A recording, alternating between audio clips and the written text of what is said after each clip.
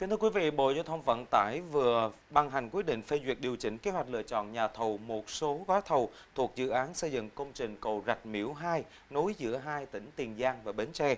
Trong đó, bốn gói thầu của dự án được điều chỉnh bao gồm XL02, XL03, TV10, BH02 được điều chỉnh thời gian lựa chọn nhà thầu từ quý 3 sang quý 4 năm nay.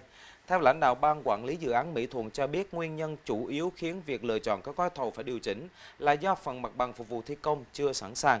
Được biết dự án cầu Rạch Miễu 2 có tổng chiều dài khoảng 17,6 km, trong đó cầu chính trên sông Tiền dài gần 2 km. Dự án có tổng mức đầu tư là 5.175 tỷ đồng với 4 làn xe cơ giới, 2 làn xe thô sơ, vận tốc thiết kế 80 km một giờ, dự kiến sẽ hoàn thành và đưa vào khai thác vào năm 2020. 2025.